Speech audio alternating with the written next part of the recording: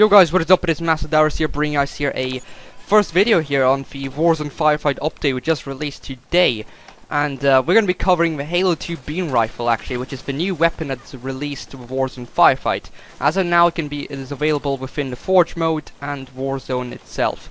And coming up now, I'm going to do a full showcase of all the Halo 2, well, the Halo beam rifle versions found in Halo 2 Classic, Halo 3, Halo 4, and now also Halo 2 Anniversary and now the Halo 5 version. So which I'll compare the Halo 5 version to the new remodeled Halo 2 type version found now in Halo 5. So what you'll be seeing is the um, differences in zoom in animations, sound effects, and idle animations. I hope you guys enjoyed the video and I'll see you guys next time.